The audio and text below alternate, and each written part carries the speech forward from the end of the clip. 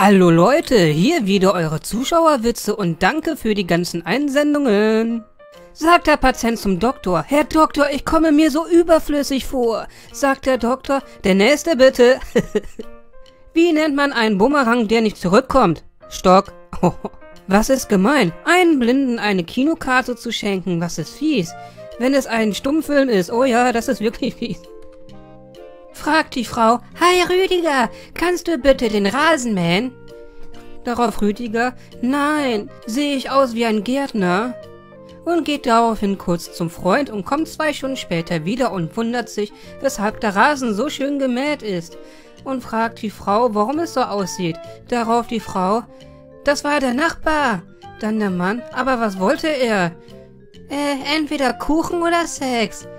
Darauf der Mann, und du hast den Kuchen angeboten. Darauf sie, sehe ich aus wie ein Bäcker?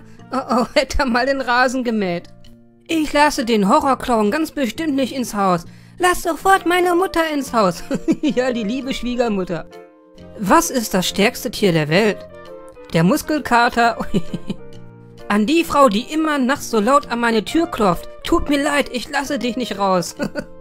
Was ist weiß und fliegt nach oben? Eine behinderte Schneeflocke. Was ist weiß und ungesund und kann fliegen? Biene Mayo. Wie nennt man eine Hexe in der Wüste? Sandwich. Was wird beim Trocknen nass? Das Handtuch. Wohin fliegt eine Wolke, wenn's bei ihr juckt? Zum Wolkenkratzer. Ui, flach.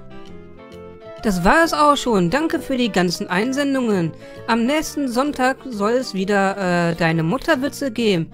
Dazu ist der Einsendeschluss der Donnerstag. Danke und bis zum nächsten Mal. Tschüss.